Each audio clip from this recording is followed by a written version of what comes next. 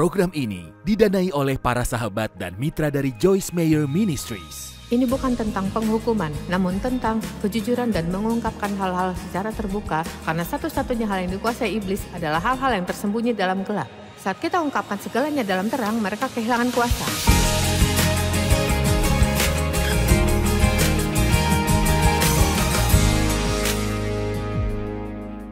Salah satu hal yang harus kupelajari dan muncul dimulai sangat dini dalam hidupku karena kupikir saya tak akan maju tanpa ini, yaitu belajar untuk jujur dengan dirimu tentang dirimu. Hmm. Ouch, ouch.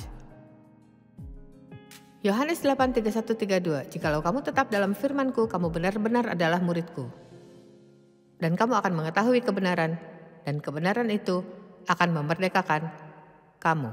Nah, ini bukan hanya mendengar kebenaran yang memerdekakan, namun mengaplikasikan kebenaran yang kita dengar. Dan saya tak tahu seberapa saudara sadar atau tidak sadar, tapi manusia mudah dibohongi. Betapa menakjubkan bahwa banyak hal yang orang percaya tidak benar. Yang menyedihkan, jika saudara percaya, maka ini benar bagimu. Satu contoh, mungkin saudara mengacau dalam hidup dan iblis membohongi saudara untuk berpikir bahwa saudara akan selalu punya hidup inferior. Bohong? Ini bohong. Karena Allah berkata, "Ia akan mengambil potongan-potongan hidupmu dan membuatnya hebat." Allah tidak menyia-nyiakan rasa sakit kita. Allah akan mengambil rasa sakit kita dan memanfaatkannya jika kita serahkan padanya. Tidak ada yang tak mampu dimerdekakan Allah. Ia mampu, ia sang pembebas dan bisa bebaskan apa pun. Itulah mengapa tak ada satupun di sini malam ini atau yang menonton, saudara tak perlu takut bahwa segalanya sudah terlambat dalam hidup, bahwa saudara banyak kesalahan dan tak ada harapan bagimu.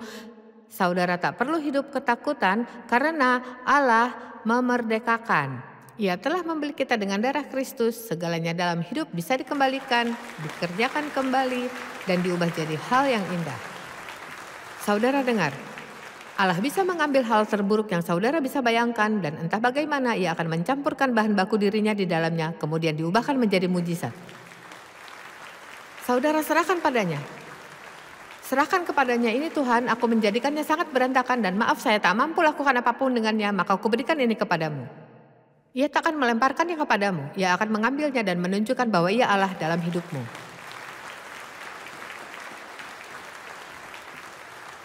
Kita perlu dilepaskan dari kebohongan.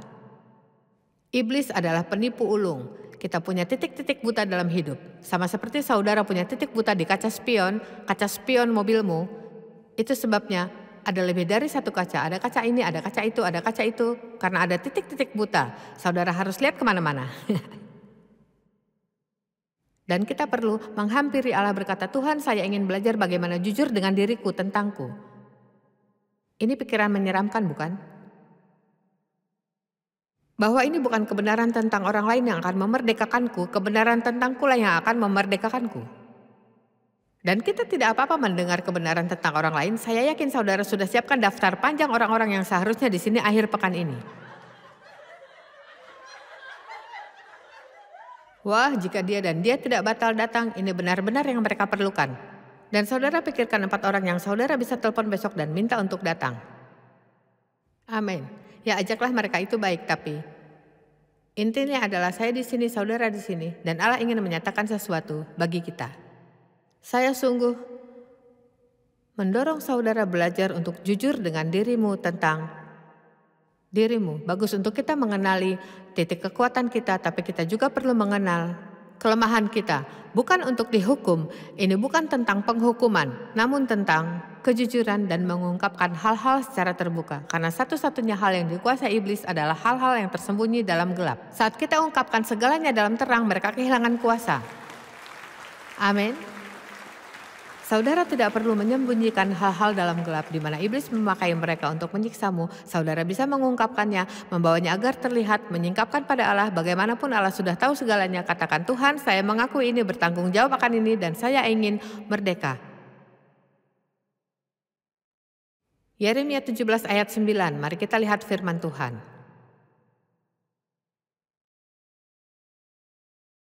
Betapa liciknya hati. Lebih licik daripada segala sesuatu, hatinya sudah membatu. Siapakah yang dapat mengetahuinya dan memperhatikan, memahami, mengenali hati dan pikirannya? Dengan kata lain, semua kita, termasuk saya, punya pemikiran tentang diri sendiri yang terkadang terlalu mulia dan uh, saya akan menemukan seseorang yang setuju denganku dan akan kuhotbahkan mereka. Mari tempatkan seperti ini. Saudara berpikir mungkin terkadang saudara merasa tahu lebih banyak dari yang sebenarnya? Saudara tahu yang kuputuskan? Tidak ada yang tahu apa pun hingga paling tidak berusia 40 tahun. Nah dengarkan. Sekarang tunggu. Sebelum para kaum muda ingin melempari saya, dengarkan. Dan saat usiamu 40, ini adalah tanda pertama saudara belajar sesuatu. Karena saat berusia 40, saudara mulai berpikir, saya tak tahu apa pun. Dan itu tanda awal kecerdasan. Saat saudara katakan, tahukah Anda, ternyata aku tak tahu apa-apa. Dan saya kacau dan terhilang tanpa Allah. dan ini tanda awal bahwa ada sedikit kecerdasan dalam diri. Bahwa mungkin sekarang kita punya roh yang mau diajar dan Allah bisa ajarkan kita sesuatu.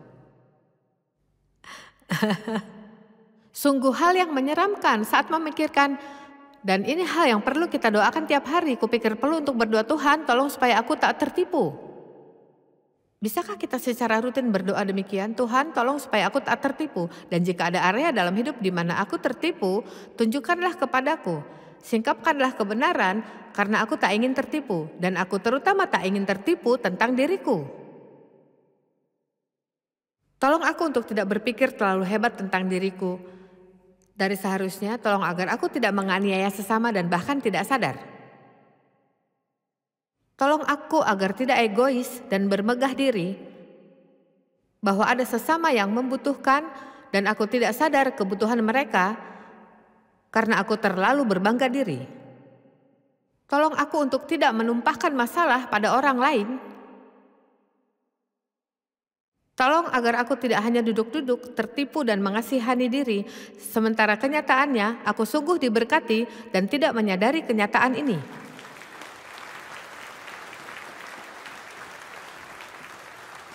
Tahukah apa kebenarannya? Silahkan. Dan persiapkan diri untuk unduhan yang akan kuberikan. Tidak ada alasan untuk siapa pun di sini untuk mengasihani diri sendiri.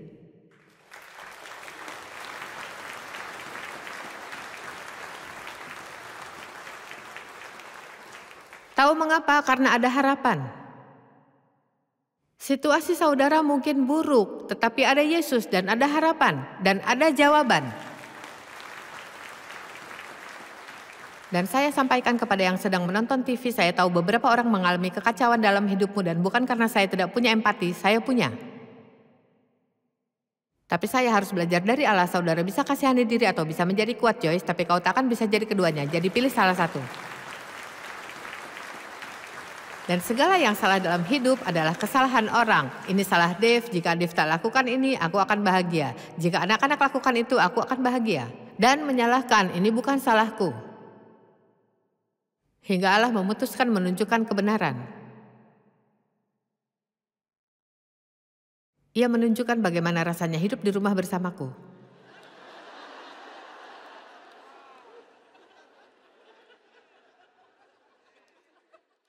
Dan tiga hari saya menangis.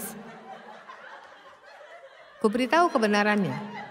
Saya masih ingat pojokan yang sama di dalam rumah di mana Allah menunjukkan bahwa Dev bukanlah masalah tapi diriku. Katanya kau manipulatif, kau senang menguasai, kau susah diajak bergaul, kau sangat mengasihani diri. Ya saya tak merasa baik tentang diriku hari itu. Tapi aku terbantu untuk bangkit dari fase itu kepada diriku sekarang. Nah, ini masalahnya. Dulu di masa kecil saya hadapi ujian Sebagai wanita muda di usia 20 dan 30 saya kesulitan uang. Tapi belum kugabungkan segalanya agar menjadi kesaksian. Apakah ada di sini yang ingin menang atas kesulitan keuangan? Dan tiba di titik di mana ada kesaksian hebat yang akan menguatkan orang lain bahwa kuasa Allah nyata dalam hidup mereka. Dan ada kehidupan yang indah tersedia bagi mereka. Amin, amin, amin.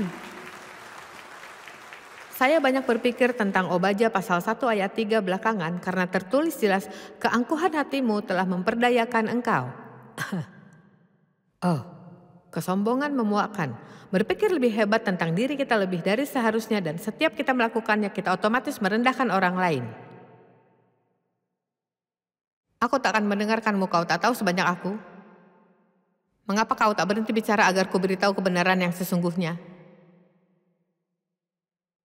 Ayo saudara pahamkan. Saya ingin melihat semangat saat tiba di poin ini. Lihat lalu kita bisa melanjutkan ke poin lain. Tipu muslihat, mungkin salah satu contoh terbesar tipu muslihat di Alkitab ada di 1 Samuel pasal 15. Ketika Allah mengurapi Saul menjadi raja, dan ia memberinya beberapa instruksi bahwa ia akan datang ke bangsa musuh, membunuh segalanya, semuanya, semua domba, semua lembu, seluruh bangsa, pria, wanita, anak-anak, semuanya, katanya bunuhlah semuanya. Dan saya tahu kedengarannya kasar, tapi saudara harus mengerti bahwa mereka orang kafir yang menyembah berhala.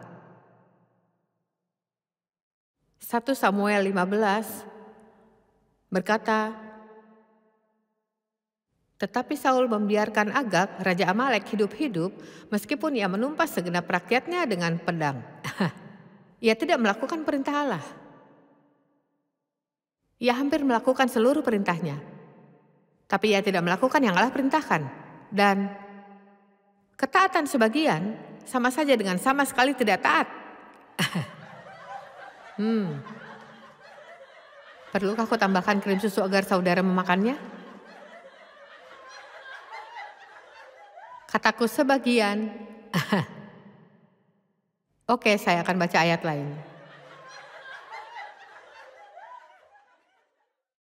Tetapi Saul menyelamatkan agak dan kambing domba dan lembu-lembu yang terbaik dan tambun pula anak domba dan segala yang berharga. Jadi ia masuk ke sana dan bukannya menghancurkan segalanya seperti yang Allah perintahkan, ia buang semua yang sampah dan menyimpan hal-hal yang baik. Lalu yang semakin buruk adalah Kata Allah, aku menyesal menjadikan Saul raja, sebab ia tidak melaksanakan firmanku. Nah Samuel adalah nabi yang mendatangi Saul berkata, Saul, apa yang telah kau lakukan? Dan kata Saul, dengarkan ini, diberkatilah kiranya engkau oleh Tuhan, aku telah melaksanakan firman Tuhan. Dan saudara tahu, kau pikir, dia pikir dia benar. Ia berkompromi dan ia berpikir bisa memberi ketaatan sebagian. Atau bahwa ia mungkin melayani Allah di hari Minggu pagi tapi lakukan yang ia inginkan setelah itu. Uh. Oh-oh. Oh-oh. Ya saya mendengarkan Joyce setiap pagi dan segalanya akan beres. Itu waktu saya dengan Allah, saya dengan Joyce. Saudara tahu, saya senang saudara mendengarkanku, tapi jika harus memilih antara diriku dan Allah, pilihlah Allah. Maukah saudara? Karena saya tidak mau saudara membuat masalah, maka saya merasa merasa perlu memintamu menomorsatukan Allah. Amin. Tidak ada pria atau wanita di dunia ini yang bisa mengambil posisi yang jadi milik Allah. Memang baik belajar dan bertumbuh Lalu ambil yang saudara pelajari dan berjalan bersama Allah dan minta dia untuk terapkan dalam hidupmu. Bagaimanapun, oh ya saya sudah, sudah melakukan yang Allah perintahkan. Ya ceritanya panjang, tapi saat kita sampai di bagian akhir kisah ini, saudara tahu apa sesungguhnya masalahnya di sini? Orang-orang lelah menunggu. Dan Alkitab berkata, Saul melakukan hal itu karena ia takut pada rakyat. Ia tidak mau kehilangan rakyat, jadi ia kompromikan hubungannya dengan Allah untuk membuat rakyat senang. Nah, tentu ada seseorang di sini yang pernah diundang ke pesta di mana saudara tahu akan ada narkoba dan hal-hal yang salah dan saudara tahu seharusnya tidak pergi, tapi saudara tak ingin teman-temanmu marah padamu. Jadi saudara pikir, ya aku akan pergi saja, tapi aku tak akan berpartisipasi sama sekali, tak akan ini dan tak akan itu. Lalu akhirnya terjadi kekacauan besar. Oh tidak ada yang begitu. Oke, saya pilih contoh lain. Saudara tahu betapa luar biasa hal-hal yang kita buat supaya tidak kehilangan orang. Kita harus bergantung pada mereka. Dan sering kali mereka adalah orang-orang yang meracuni kita. Tidak mempedulikan kita sama sekali ketika terjadi kesulitan mereka orang-orang pertama yang keluar dulu.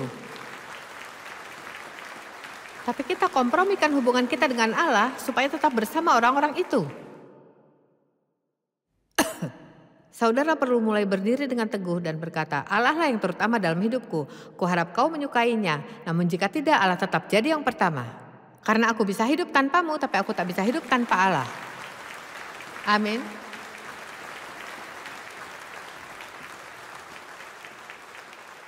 Biar kebenaran memerdekakanmu. Hal ketiga yang ingin kubicarakan dengan saudara, hal pertama adalah utamakan Allah dan nomor satukan dia dalam segalanya, benar? Hal kedua adalah jujurlah pada diri sendiri tentang dirimu, benar? Nah, mengenal makna sebenarnya frasa dalam Kristus. sebenarnya? Apa makna sebenarnya dalam Kristus? Saat lahir kembali, saudara sepenuhnya dipisahkan dari dosa dan ditempatkan dalam kontainer bernama Kristus. Jadi, saudara tidak lagi diidentifikasi kotor pendosa busuk, itu bukan identitasmu lagi, bukanlah siapa dirimu lagi. Saudara bisa masih berdosa, tapi itu bukan identitasmu. Saudara punya natur yang baru. Siapa di dalam Kristus, ya adalah ciptaan baru. Saudara mendapat natur baru dalam dirimu, jiwamu masih tetap sama, tubuh masih kelihatan sama, ada pekerjaan yang dibutuhkan dalam dirimu, tetapi inti dari dirimu kini adalah kudus dan benar dan baik. Dan Allah melihatmu dalam terang yang berbeda, yakini melihatmu dalam Kristus. Tapi saudara harus mulai melihat dirimu demikian. Namun izinkan ku berhenti sebentar dan lakukan sesuatu. Kupikir saya akan bagi-bagi hadiah. Siapa di sini yang ingin terima hadiah gratis? Maksudku, benarkah saudara ingin hadiah gratis? Maksudku, lihatlah, lihatlah ini. Ada Alkitab pengajaranku, ada kesaksian hidupku, ada beberapa yang baru. Ayolah jika menginginkannya bertindaklah demikian. Lihatlah, Saya ingin lihat apakah saudara serius menginginkan hadiah gratis. Lihat yang itu, gratis, gratis, gratis. Uh. Satu lagi, siapa yang ingin hadiah gratis? Wow. Ini dia. Uh, kita senang barang gratis kan? Bukankah luar biasa? Oke, okay, nah apa yang sebenarnya kau lakukan? Nah, lihat Roma 5 ayat 15. Roma pasal 5 ayat 15. Nah, terfokuslah pada apa yang kita lakukan di sini. Saya melakukannya untuk mengajarkan sesuatu pada saudara. Tetapi karunia Allah, tetapi karunia Allah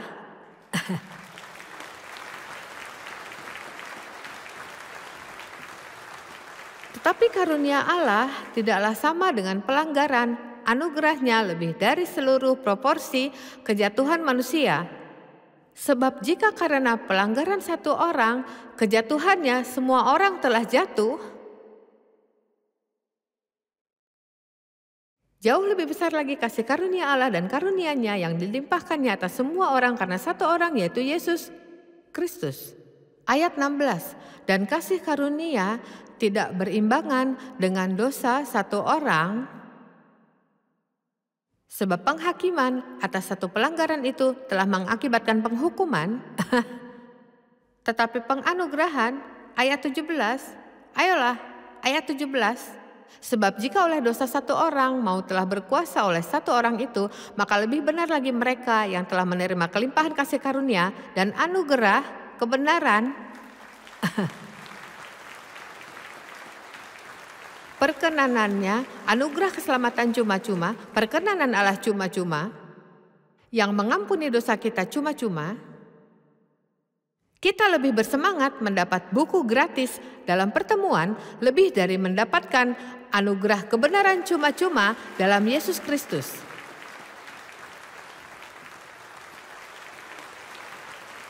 Pahamkah saudara? Luar biasa tindakan kita untuk mendapatkan hadiah materi gratis. Namun, mari ku beritahukan, ada kelimpahan dalam dirimu. Saudara dilimpahi. Ada Allah dalammu, Bapa, Anak, dan Roh Kudus. Semua buah roh ada dalammu.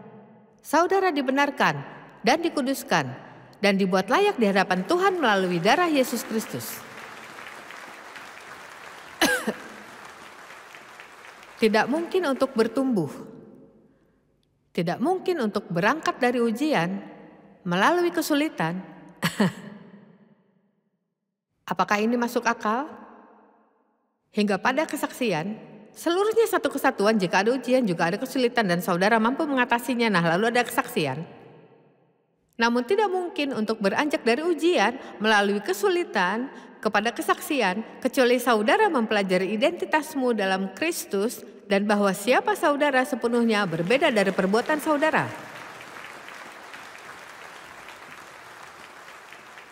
Saya sangat menderita akibat rasa salah dan penghakiman. Oh Tuhan, Rasanya seperti mimpi buruk seumur hidup. Saya tak merasa salah, tak merasa benar. Ini dimulai di masa kecil karena pelecehan dan iblis meyakinkan saya ada hal yang salah denganku. Dan sejak itu ada pernyataan berulang-ulang di kepalaku apa yang salah denganku, apa yang salah denganku. Membandingkan diriku dengan orang lain. Saya ingin katakan ini berhenti saat lahir baru dan saya ke gereja namun tidak. Saya membawanya ke level rohani. Saya masih membandingkan diri dengan orang lain, sekarang membandingkannya dengan orang-orang Kristen. Lalu setelah menjadi pembicara, saya bandingkan diri dengan pembicara lain. Tak pernah berhenti hingga kita pahami identitas di dalam Kristus. Bahwa kita pribadi di dalam Kristus dan dia punya rencana pribadi dalam hidup kita. Dan bahwa tak ada penghakiman bagi siapa pun dalam Kristus. Hanya ada kesempatan untuk bertobat dan masuk ke lift dan pencet tombol penthouse dan kembali naik ke lantai paling atas. Ya, terkadang kita jatuh ke bawah tanah. Kadang-kadang ada hari-hari berat. Kadang-kadang ada kesulitan. Ada hal-hal yang kita tak mengerti, tapi di tengah segalanya Allah mengasihi kita. Ya, ada banyak hal yang bisa kita syukuri saat kita tahu identitas kita dalam Kristus. Saya mau menguatkanmu untuk mulai menerima segala pengorbanan Kristus bagimu. Jika saudara belum pernah mengalami hadiah cuma-cuma dari pengorbanan Kristus, saya ingin memberimu kesempatan untuk mengundangnya dalam hidupmu. Saudara tahu kita membahas kelahiran baru. Alkitab berkata kita harus lahir baru jika ingin masuk ke kerajaan Allah dan lahir baru artinya saudara undang Kristus dalam hidupmu dan ia datang secara harafiah ke dalammu.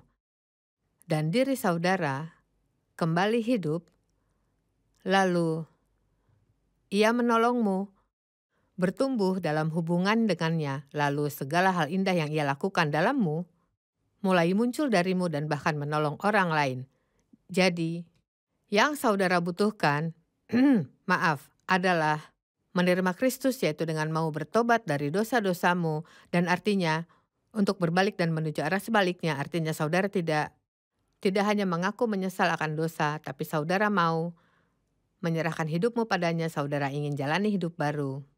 Dan saya ingin ungkapkan doa dengan saudara yang ingin dosamu diampuni, saudara ingin jalan bersama Allah, dan ingin memastikan bahwa saudara akan masuk surga saat meninggal. Jadi, mari berdoa sekarang. Saya yakin ada ribuan kali ribuan saudara yang kesepian, merasa diri kosong. saudara khawatir akan apa yang akan terjadi padamu saat meninggal dan ini akan memberimu kedamaian yang nyata. Jadi mari berdoa. Allah Bapa, aku mengasihimu. Yesus, aku percaya padamu. Aku percaya engkau mati bagiku. Aku percaya kau membayar dosa-dosaku. Bahwa engkau tiga hari di dalam kubur, lalu bangkit dari kematian. dan kini duduk di sebelah kanan Allah. Aku percaya Bapa mengirim Roh Kudus untuk hidup di dalamku. Ampunilah dosa-dosaku. Aku ingin berbalik darinya dan menjalani hidup yang baru. Bantu aku melakukannya. Kuserahkan hidupku kepadamu. Kini terimalah diriku sebagaimana adanya, dan jadikan aku sebagaimana yang engkau inginkan. Amin.